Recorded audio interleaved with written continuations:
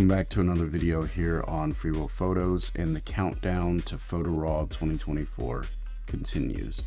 Today, we're going to edit a photo of a duck, but if you want to pick up a copy of ON1 Photo Raw and support the channel at the same time, consider using my coupon code Free Will FreeWillPhotos20. It is an affiliate coupon. I get a small commission, but no extra cost to you. You save some money, I make a little, and it all works out. So let's go ahead and jump into the computer, take a look at today's edit. Here we are inside of Photo Raw 2023. And one of the things that I think we can do to this photo is get rid of this duck over here on the left-hand side. So whenever I work with the retouching tool, especially the perfect eraser, I like to duplicate my layer. You can do that by clicking this double layer icon, and that's going to give you a second layer. That just means if I mess something up, I have a layer to come back to because the perfect eraser is a destructive tool.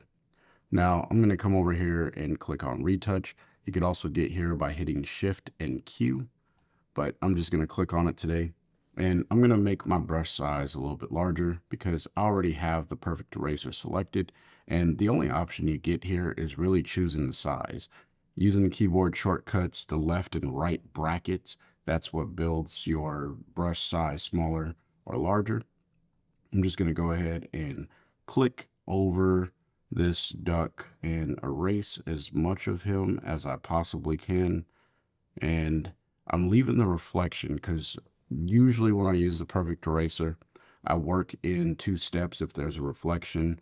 Uh, but sometimes ON1 will think that you want something that's lower down there. I'm okay with that for now because I'm just going to continue erasing here. All right.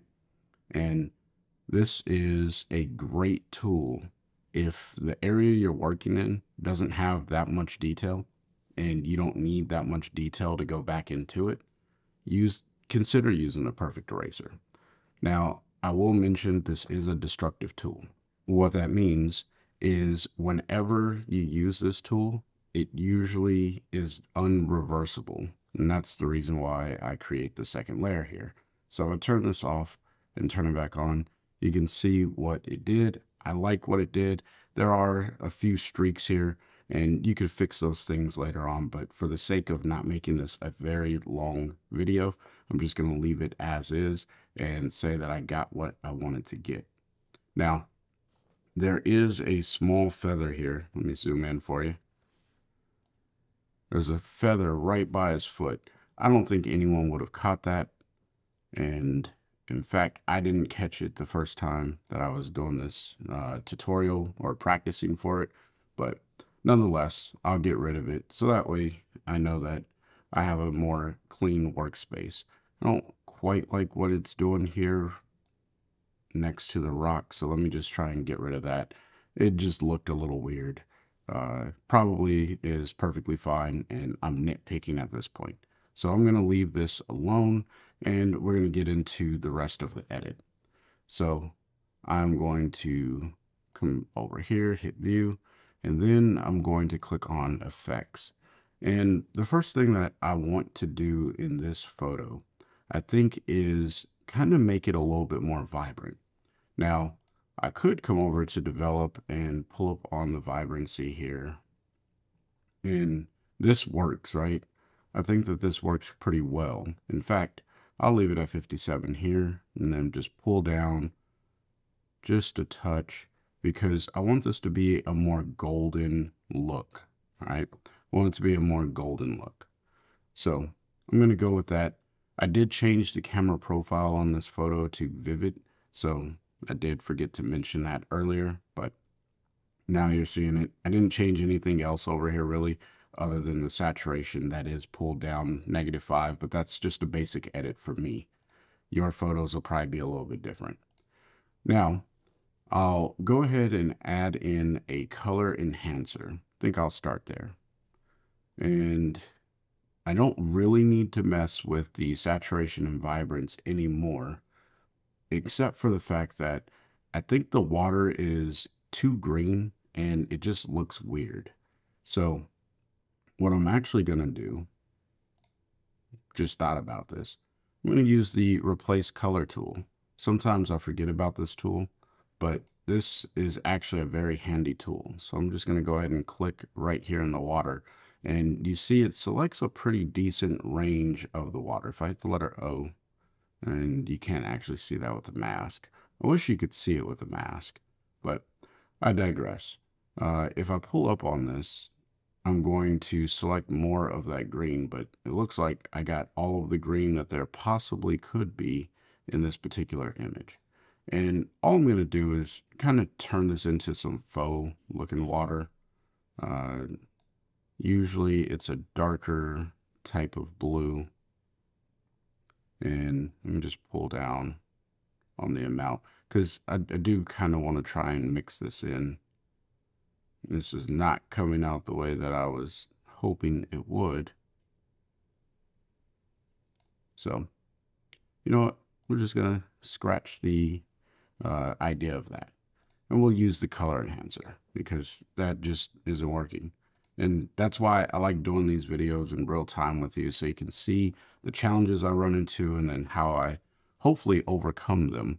Uh, I can't come overcome every single challenge, but what I'm going to do is click on the grains, pull down on the saturation.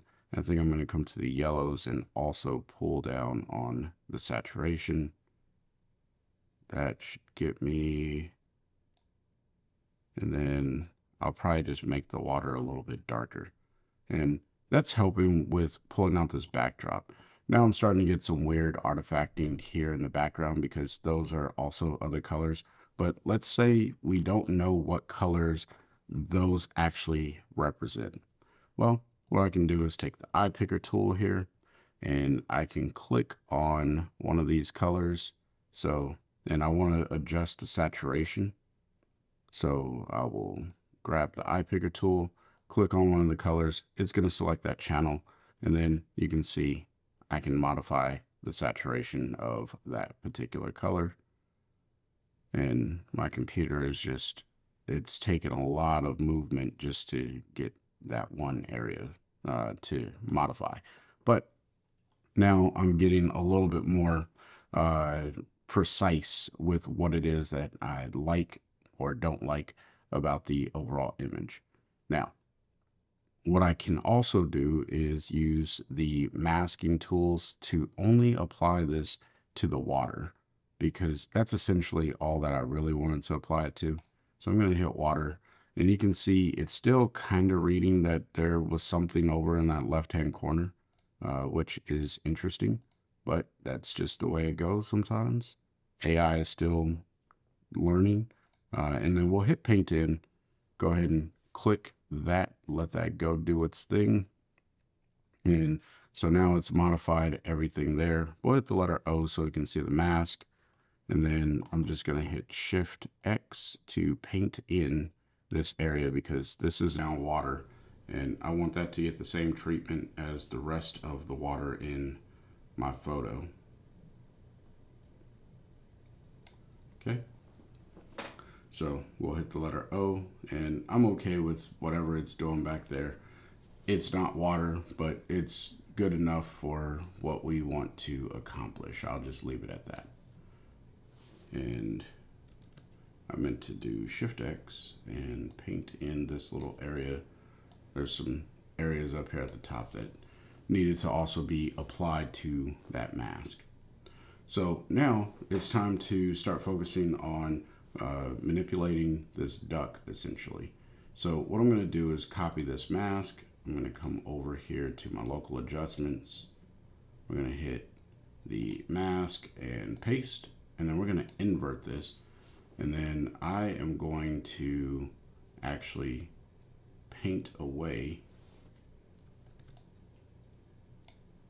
everything here at the top as well. So let me hit the letter O because all I really care about is working with the duck and this foreground rock here, but not this rock over here. So I'm gonna paint that rock away as well. That way, what I'm doing in the local adjustments will not impact anything else except for the areas that I want to impact. So now what I need to do is reset the exposure here because it was a darker exposure And in fact, I want to increase the exposure, pull up on the contrast, so that way the duck starts to stand out. And then we'll pull down on the blacks, and this is just gonna help with defining the duck a little bit. We'll pull up on the structure a touch. And then I'm going to actually copy this mask. So we'll hit copy there, and then we'll add another adjustment. And this time we're going to paste it and invert it. So that way it's all on the background. Well, I want to kind of fade that away from the, uh, the overall background. So we'll pull up on the exposure and I'll even pull down on the opacity. So that way it kind of looks more uh, gradual, so to speak. And then I'll even feather this off from the duck just a touch. So that way it kind of just wraps around him. Now, one of the things that I really enjoy doing in photos like this is putting a vignette, mostly because I think that it works well. So I'm going to add another adjustment, hit the letter M on my keyboard, click right here in the center, pull this right over the duck, and then pull this out so that way it kind of fades nicely into the image. And I think that this is a pretty good image. And if I wanted to, I could stop right here. However, I'm going to go one step further and I'm going to make this a little bit more of a stylized look because I think I got the tones, the colors, uh, everything else going the way that I wanted to. However, what I really would like to do is maybe add in a little bit of sunshine. Um, maybe pull that down just a touch. And then I'm going to add in a sun flare because, you know, on bird photos, I feel like this just works so well. Uh, it's a little large in that area. We'll maybe try a different flare. Maybe, maybe something like the light's coming from the right in this image. It's actually right behind me, but I'm going to make it directional to the right. So let's go with, if I go with this, it's going to be a little bright and orange. I like this one. All right. And then what I can do is click this transform button and I can move this around on the image overall I think that that works out pretty well. And let's, you know what, let's play around with frames. I don't do that too often. And, you know, now that I'm looking at it, I think the duck needs a little bit of dynamic contrast on it. So I'm going to go ahead and grab dynamic contrast. And I'm going to go with surreal because I like to go crazy with it, dial it back, invert my mask, and then go to the mask icon here, click animal and paint in, hit apply, let that paint into the animal. I will paint this away from this area because I definitely don't need it over there. And now I can just kind of season to taste for the dynamic contrast that I want. I don't really care for a super crisp duck here but that's just something that I've seen and said, hey, you know what? I should probably throw just a little bit of contrast, make them pop a little bit more in the scene. And in fact, I should probably come over here and feather this mask because, you know, me, you got to feather your mask. That's just a thing. All right. So now what I want to do is throw a border on here because I think that'll be fun. You know, I like having fun with my overall images because why not? All right. If you get stuck in just one way of doing things, even though I do a lot of the same things, then it takes away from the creative side of just enjoying the software. We we live in a wonderful time where we have software that we can play around with and make all kinds of stuff. Now I am looking at this photo and I kind of like it with the border. I normally go with a simple border, but wonder what happens if I go with one of these more interesting borders. So here's an emulsion border. Never used an emulsion border before on a photo to the best of my knowledge, but I kind of like this one. And I wonder, you know, you can colorize these borders. So I'll pull down on the color and maybe make it a little bit more similar. Uh, actually, let me click here and I want to make it match the sun flare. So yeah, I think that kind of works out. I don't know. Let me know what you think about it in the comment section below. I was really just testing out some stuff because that's kind of the beauty of working inside of software like ON1 Photo Raw. And that's why I'm excited to get 2024, just because I like to mess around and create things that maybe you wouldn't normally create. If you got questions, leave it in the comment section. Let me know what you think about the edit. Wasn't the best work that I could have done, but it's something that I did and I enjoy it. And I'm going to post this to my Vero account. So until next time, I want you guys to stay inspired and keep creating. Peace.